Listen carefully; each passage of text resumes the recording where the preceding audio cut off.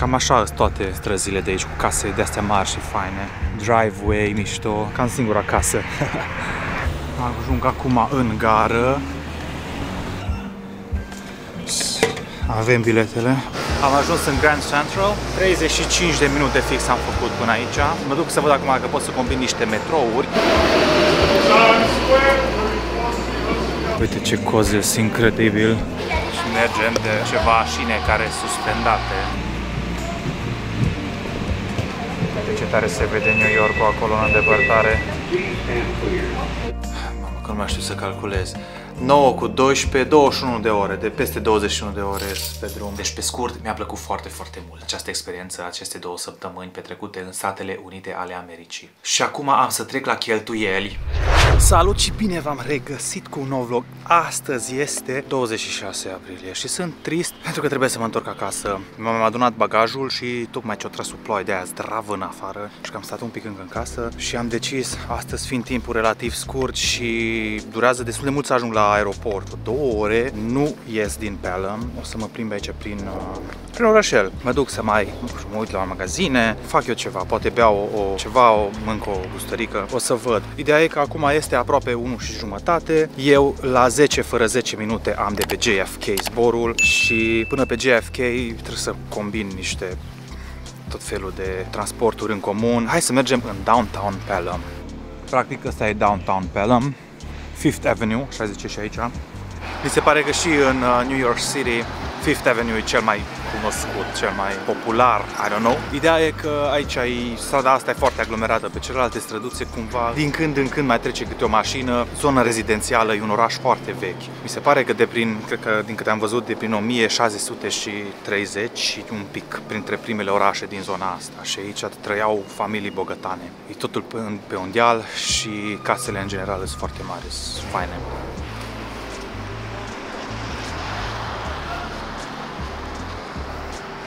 Am tot văzut vitrina asta, e plină de cupe și medalii. Mi se pare că sunt cupele câștigate de către domnul ăsta, oare? Pelham Recreation Men's Softball Champions, ai softball, am crezut că sunt de baseball. Domnul Richard Bell. Presupun că acesta este domnul Richard Bell, cel care a câștigat aceste cupe și acele cupe un mic magazin aici. Mi se pare că mai toate magazinele și restaurantele de aici sunt așa mai mult family businesses, adică nu e nimic mare. Și cum am mai zis și într-un vlog anterior când am trecut pe aici, asta e primăria din Pelham, Pelham Town Hall, tot aici pe strada, pe Fifth Avenue.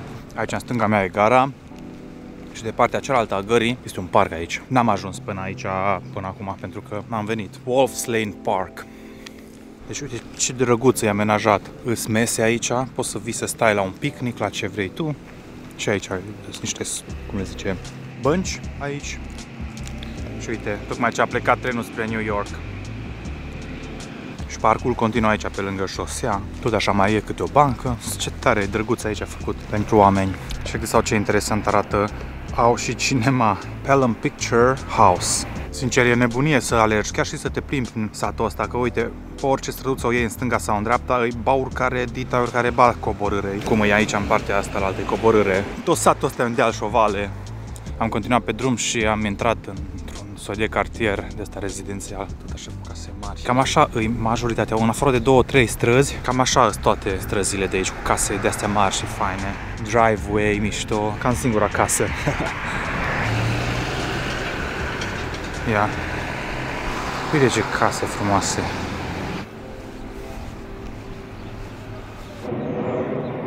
Deci e foarte aproape aeroportul de aici, unde stau eu. JFK e în Queens, cumva imediat după Brooklyn. Deci Brooklyn și după Brooklyn vine Queens, pe Long Island. Practic, Queens-ul e destul de nord, e, e aproape la același nivel ca Bronx-ul. Și Pelham e lângă Bronx, în, la nord de Bronx. Unde se termină Bronx, începe Pelham. Și e distanța foarte mică, doar că este un golf între. Și din cauza asta, eu trebuie să mă duc până în downtown Manhattan și din downtown Manhattan să urc înapoi în Queens. Deci o să trebuiască să fac un V ca să ajung la aeroport în loc să merg în linie dreaptă. De aia durează aproape sau chiar două ore ca să ajung de aici până la aeroport.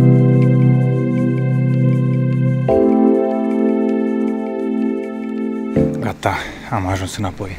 No, bun, s-a făcut 5 fără 6 minute acum, 5 fără 5 minute. Peste 12 minute am trenul din gară, așa că am plecat cu ocazia asta. Așa să-i mulțumesc Alinei și lui Dan că m-au primit și că au fost foarte drăguți cu mine, super mișto, foarte fain a fost la voi. Mulțumesc foarte frumos pentru absolut tot ce ați făcut pentru mine și abia aștept să ne revedem. Dați un semn când veniți prin România, prin Cluj și ne vedem cu cel mai mare drag. Eu o să împing acum în gambe pentru că vreau să prind acest tren de la 5 și 7 minute. Ajung acum în gară. Mai am de cumpărat un bilet. If I take now the train to the central, it's off peak, right? It's peak now. It's peak Yeah, to before. also in that direction. No, no, it's off peak that way. Okay, thank you. Avem biletele, tot 850 off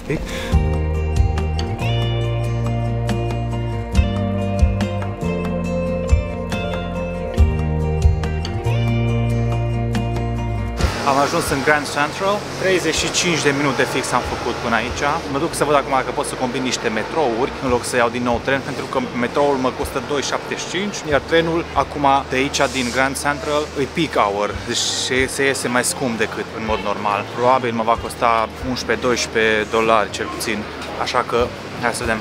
Dacă n-ați văzut cadrele pe care le-am tras aici în Grand Central, vă invit să vedeți vlogul când am ajuns aici în New York. Stânga e subway cu șaptele, îmi zice că trebuie să merg. Foarte greu am reușit să-mi încarc cardul, numai cu cash o merg, adică metrocardul să mi-l încarc, nu mi-a luat uh, cardul meu. Și acum trebuie să văd ce iau. Grand Central 42 Street, să văd unde e șaptele. Deci am coborât de aici, se ia 6, 4, 5 și 6 și pentru 7 mai trebuie să cobor o tură.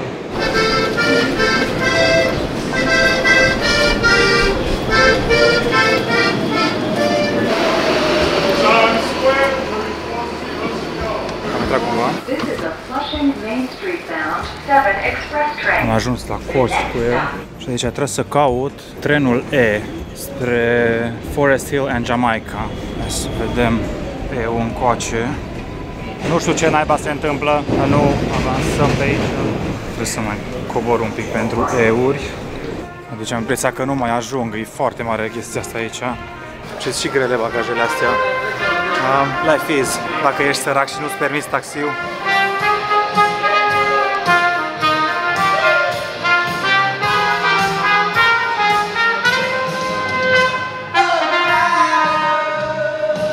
Forest Hill în Jamaica încoace.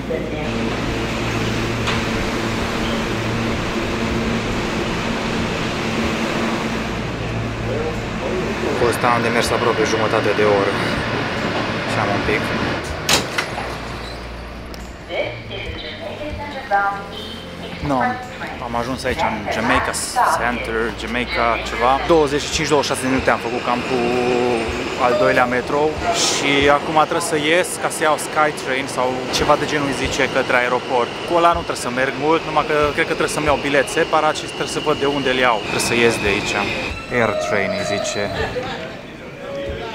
Trebuie să ies. Semne mari aici cu JFK Airport. Coace. JFK Airport. Oh, nice. Trebuie să urc undeva. Vai de capul meu. Deci îi 8 dolari 25. Uite ce cozes incredibil. Aici trebuia să fac refill înainte să intru. Mă că n-am cash. Thank you. A trebuit să cumpăr ceva, că nu a avut nimeni să-mi schimbe. Mai aveam 10 dolari și aparatul nu dă rest și nu mi-a cardul nici cum, așa că trebuie să-mi schimb banii și acum să bag 8 dolari și ceva. Pe cardul ăsta, Metrocard, nu, mi-am băgat 8 dolari pe ăsta, 8 dolari 25 ca să pot să ajung la aeroport.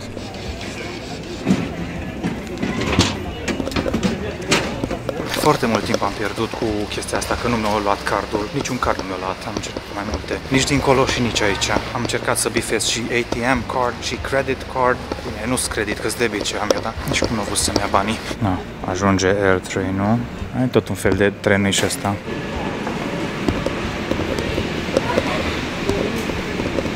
Și mergem de ceva șine care suspendate, sunt aer de aici, Airtrain, ca un fel de Marconi Express în uh, Polonia. Și ăsta e scump, dar parcă nu e la fel de scump, dar și ăsta e scurt. Câteva minute mergem doar cu el până la aeroport. De aici e JFK, se vede în stânga aeroportul.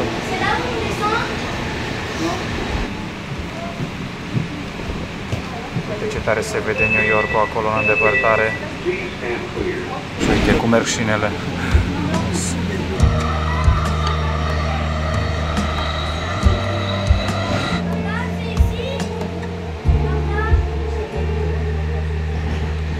Cred că trebuia să mă dau jos aici și nu m-am dat.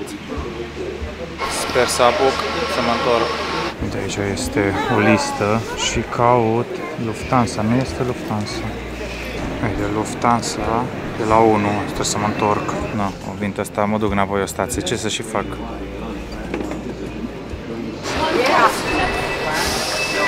Am ajuns la terminalul 1. De fapt, am ajuns la stația terminalului 1. Ia ce tare. Deci am intrat în terminalul 1. Șmecher. 7 și 10 minute, asta înseamnă că 2 ore și un sfert am făcut până aici, dar mă încadram cam într-o oră 45, cam jumătate de oră mai repede, dacă nu mă pierdeam cu cumpăratul biletelor de două ori, plus dacă nu luam greșit, adică în costație în plus acest tren, ok. Și m-a costat în total 8 dolari jumate primul tren, 2 dolari jumate, 2 dolari 75 metroul și încă 8 dolari 25 ultimul tren, adică în total 19 dolari și 50 de cenți m-a costat să ajung din Pelham până aici, la aeroport. Trebuie să ajung la G, că acolo la G este Lufthansa, trebuie să-mi las bagajul de cală. Gata, am rezolvat, mi-am lăsat bagajul de cală, am primit biletele și acum mă duc să fac security check-ul. Este fix 7 și 50 de minute, ceea ce înseamnă că 40 de minute a durat să-mi las bagajul mare de cală și să trec de security check. Acum urmează să mă duc către gate-ul meu care s-a schimbat din 9 în 10. Gate, uite, 4, 5, 10, îl văd în față. E aici aproape. Aici e gate 10, cred că de aici o să am eu zborul și lounge fix aici. Haha, e jos. Mamă, deci cât de tare îi. Lounge fix aici lângă poarta mea. Oi, o să mai bine de atât nu se putea.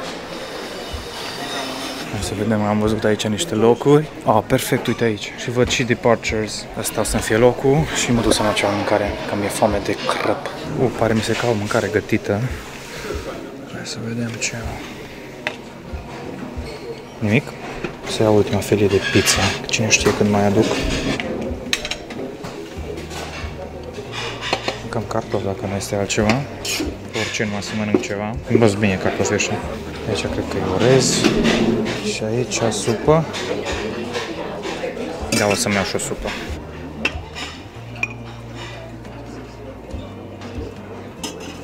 Nu știu dacă e bună. Hai să vedem ce l-am luat. Supa asta, stare curios ce e. Cred că e de roșii. Cred că e de roșii, nu-mi dau seama, dar e ok. Să mănânc firea asta de pizza, săraca ei, mai șamar. Rece, ultima care a rămas, să cu și un cartof.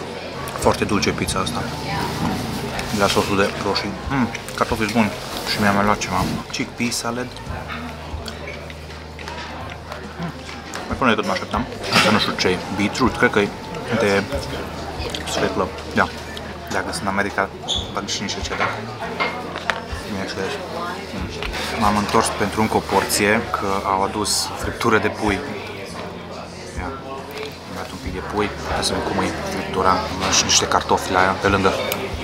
Mm, simplă și bună, fiartă bine, cătită bine, mă rog. O să mănânc bine aici, apoi mai bag la mașină avion. Am mâncat uh, budincuța asta, nu era budincă, era de fapt orez cu lapte și cu scorțișoară și m-am întors pentru niște cheesecake. Nu era cheesecake când m-am dus prima dată, dar au adus între timp, așa că, mamă, înghețat bine. O stat la congelator și nu l-a lăsat să dezghețe, e înghețată, practic. Frozen yogurt. Asta e. Acum este 21.17, la 21.50 plecăm. Ar trebui să mă duc încolo, chiar dacă încă nu se face boarding-ul. A fost bine aici, am stat chill, am mâncat, super ok. Acum e timpul să merem. Uhu, boarding.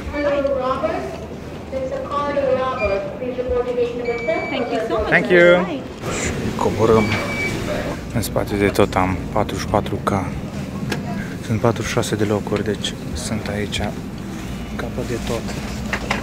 Uhu. M-am așezat aici și este 21.48 Parcă am trebuit să decolăm, dar probabil o să recupereze. Mă așteaptă de câte ore? 7 ore de zbor? Cred că vreo 7 ore de zbor. Da, am uitat să zic dacă încoace am zburat din Cluj în München și din München în Boston. Acum o să zbor din New York în Frankfurt și din Frankfurt la Cluj. Și am o escală mai scurtă în Frankfurt, nu știu, cred că vreo două ore sau ceva de gen. Mai bine decât 9 ca și încoace, exact aceeași chestie am pățit. Ne-am luat pe un rând lângă geam, unde erau ambele scaune libere și guess what? A rămas liber, deci e super ok. Am loc să-mi întind picioarele aici lângă numai bine.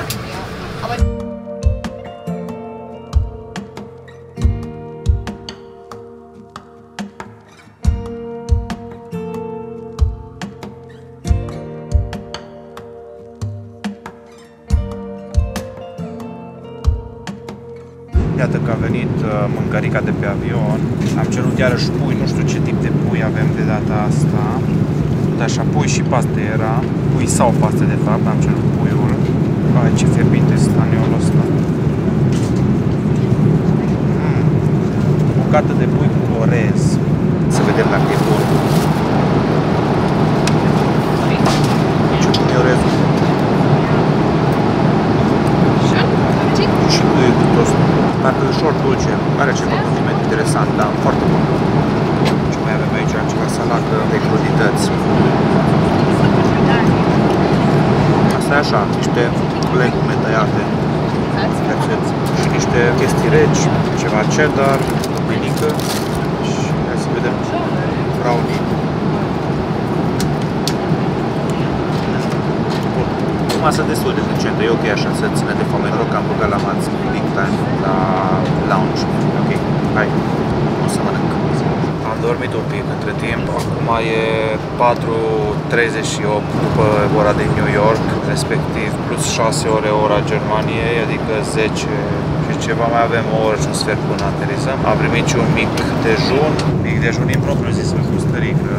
Deci am primit Custărica de dimineață, uite ceva marble loaf, ceva chestie dulce, un fel de cake, trei fructe și ca noroc mi-am mai lăsat de aseară, că n-am putut să mănânc tot, am mâncat bine și la aeroport, pâinica, crackers, brânzica și untulețul. Mai am și mâncat ciocolată pe care să o mănânc. Acum fac eu un, o mâncărică acum. Într-o oră și un pic ajungem, deci nu mai avem foarte mult de zburat. Sincer, abia aștept să mă dezmorțesc un pic, dar nu a fost foarte graznic acest zbor. Se putea mai bine, dar am fost și mai rău. Cam strâmt aici locul și eu am avut mare noroc cu faptul că nu s-a stat nimeni lângă mine.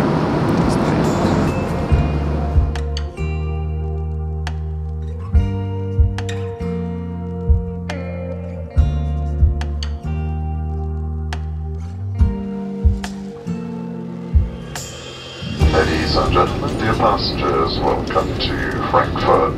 Iată ce șmecherie e aici la business class. Thank you! Thank you! Bye! Am ajuns la Frankfurt, cu alte cuvinte, all good. Am aici de stat cam o oră și 45 de minute, după care zburăm spre Cluj. Este ora locală, acum 12 și 4 minute. Din câte am înțeles, și aeroportul ăsta e mare, trebuie să văd de unde pleacă avionul meu spre Cluj. B30 scrie pe biletul meu, suntem la Z. Uite, B, A, B, C, D, E încoace. Deci nu avem voie să trecem la security check cu cuțite, dar aici se vând cuțite la souvenir shop în interior, sunt în interior. Adică sunt după security check aici. Interesant. Ia, și aici, ca și la München, este de asta de apă, drinking, drink wasser, drinking water. O să-mi umplu flaconul, mi cam sete. Sau cam zgârcit așa de la Lufthansa, mi se pare în ultima vreme, adică nu știu. Adică țin minte în urmă cu vreo 10 ani când mergeam în delegație cu Lufthansa și tot așa zburam, nu zburam la business class sau ceva, tot zburam la economy. Băi, erau altfel, de câte ori cereai îți aduceau pe gratis de băut, de toate. Acum, dacă ceri, deci dacă nu ești în perioada aia în care îl dau ei, vrei să ceri, te costă bani. Și și așa parcă zgârci, îți dau un pic, îți dau o apă, un pahar cu ceva și gata, ajungă-ți. Cred că pe la B30 am eu, din câte am văzut, trebuie să iau shuttle bus. Hai să vedem.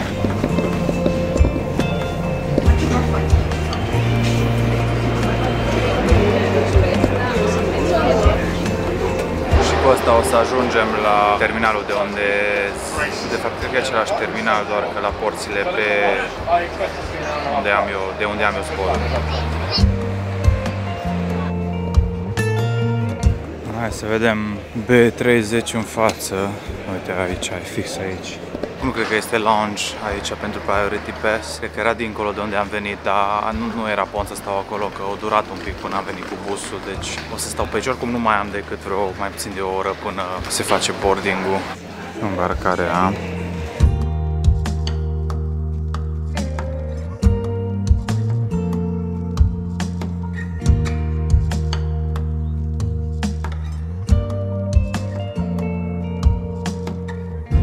To Cluj Airport, everyone. Please remember to keep your seatbelt fastened until we have reached the parking stand and the seatbelt signs have been switched off. Oh! Nu sunt deloc bine îmbrăcat pentru vremea de la Cluj. Am ajuns cam cu un sfert de oră întârziere, dar noi mai bine că am ajuns și hai să ajung așa acasă dacă că tot am fost, tot pe drumuri am fost.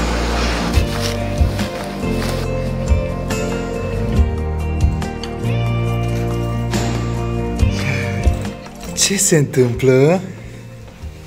Ce se întâmplă? Bună seara! Este aproape 7 și un sfert, deci după... Mamă, că nu mai știu să calculez. 9 cu 12, 21 de ore, de peste 21 de ore pe drum. Am ajuns în, fin, în final, am crezut că nu mai ajung cu busul ăsta. Am luat busul de la aeroport până aici. A fost îngrozitor că e meci și nu veneau busurile. În fine, mă dezbrac și după aia facem și o recapitulare despre ce și cum a fost prin state în aceste două săptămâni. Hai, ne vedem de nașpa. Iată că a trecut ceva vreme de când am ajuns acasă și am apucat în tot acest timp să montez vlogurile și să mă gândesc la ce s-a întâmplat în Statele Unite în aceste două săptămâni și de asemenea să-mi fac și niște calcule cu tot ce am cheltuit acolo. Așa că am să încep prin a spune două, trei cuvinte, părerea mea personală despre această călătorie. A fost pentru a doua oară când am vizitat Statele Unite ale Americii, prima dată fiind în urmă cu șase ani, când am fost în Chicago și în St. Louis și atunci m-am dus tot să alerg un maraton, am alergat un maraton, maratonul din Chicago și am alergat și un semi-maraton în St. Louis. Mi-a plăcut foarte mult, a fost dragoste la prima vedere pentru mine data trecută, așa că oarecum am știut la ce să mă aștept de data asta și da, a fost wow și de data asta a fost wow. Am ajuns prima dată în Boston, unde am stat șase zile, de fapt am stat într-o suburbie sau un sătuc lângă Boston, în Cambridge. Cambridge este foarte cunoscut pentru cele două universități foarte, foarte mișto din Statele Unite ale Americii. Harvard e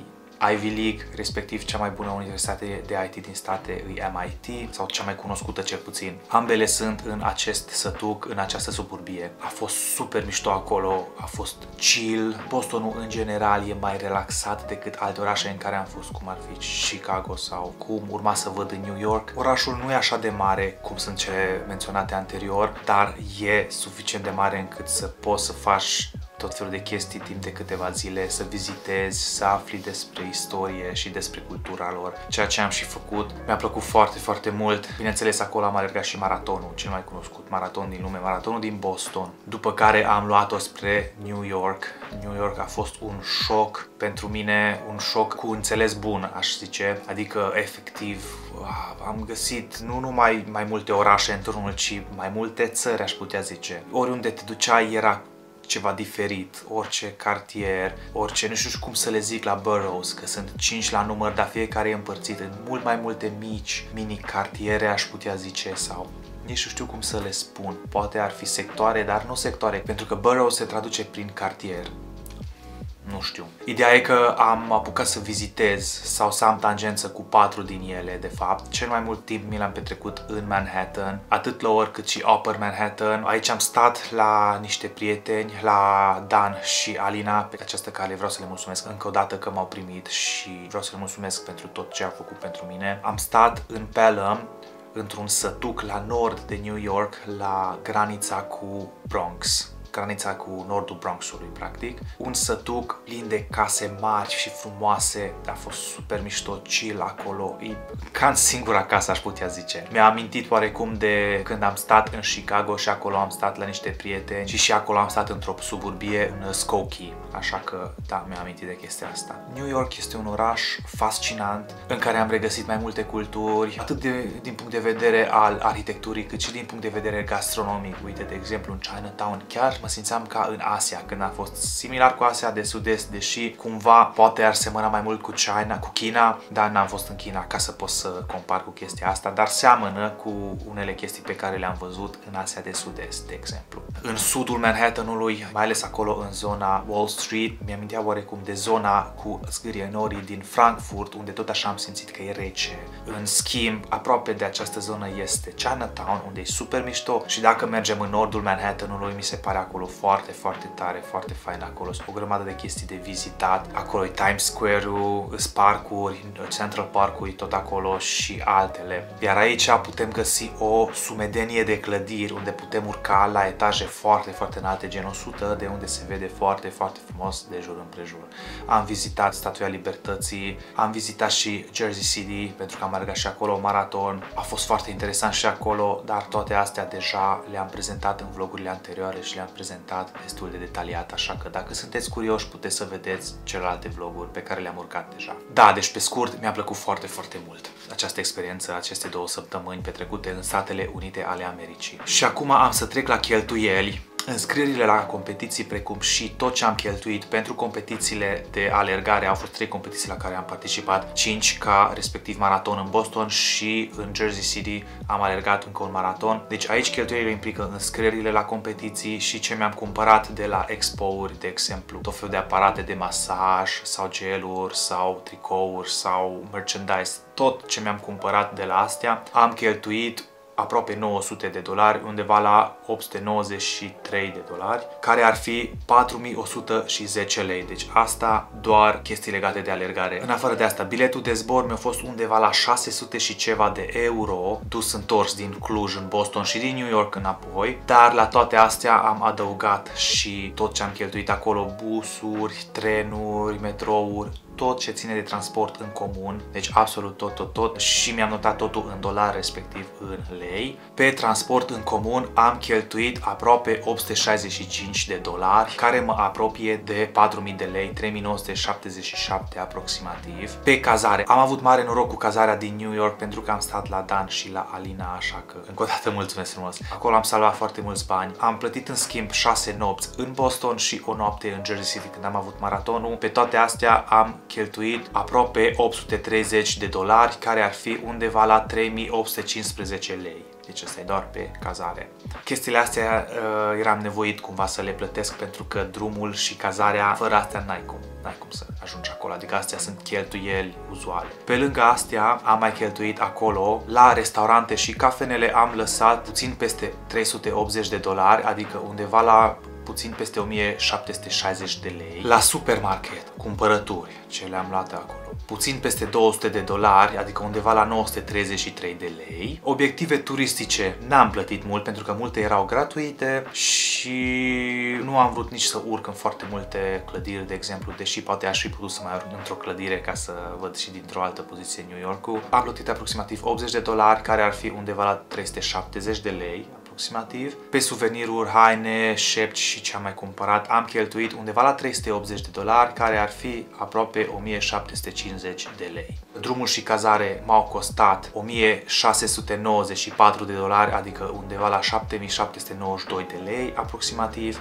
iar cheltuielile de acolo au fost aproape 1047 de dolari, adică aproximativ 4815 lei, cele două totalizând aproximativ 2740 de dolari, undeva la 12.600 și ceva lei. Atâta m-a costat fără chestiile de alergare, deci cu tot cu alergare ar fi undeva la 3600 și vreo 30 și ceva, puțin peste 3630 de dolari, iar în lei ar fi undeva la 16.700 și vreo 20 de lei aproape. Deci cam atât am costat tot, tot, tot ce am cheltuit în state, inclusiv chestiile pentru competițiile de alergare. Bun. Și cu asta am să închei acest ultim vlog din Statele Unite ale Americii. Abia aștept să mă întorc. Cu siguranță o să mă mai întorc în New York pentru că vreau să alerg maratonul de aici. Face parte din World Marathon Majors. Îi uh, cele șase maratoane pe care vreau să le alerg, din care am alergat deja trei. Și cu asta aș vrea să și închei acest vlog. Dacă v-a plăcut, v-aș ruga tare mult să-mi dați un like, un share, un subscribe pentru că mă ajută foarte mult și ne vedem cu următoarea ocazie, cu următorul vlog. Până atunci aveți grijă de voi. V-am salutat. Pa, pa!